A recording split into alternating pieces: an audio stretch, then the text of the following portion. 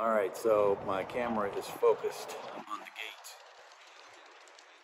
on a brilliant sunrise that's uh, making me happy, but also compromising the video just because of the way the sun is rising. But loading in the gate is Silver Bull, along with another Foley two-year-old or perhaps three-year-old. I'm not sure who it is right now, but I'm gonna get those guys loaded in here, and they'll go a half mile from the gate.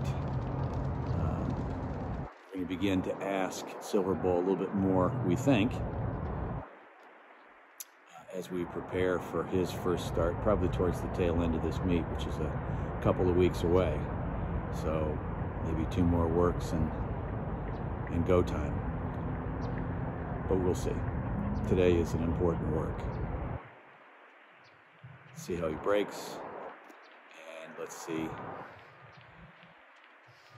how he finishes.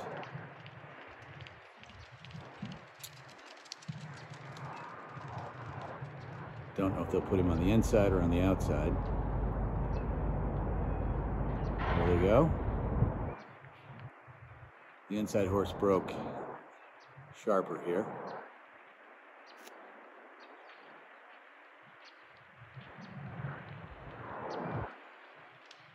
But that is Silver Bull on the outside, so he made up some ground here.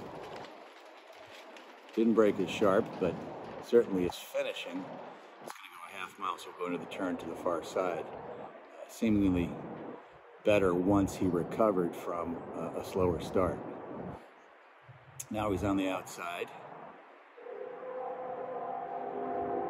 Continuing to work here as he'll work probably to about the three quarter pole. And looks to be finishing ahead of his workmate. Good deal.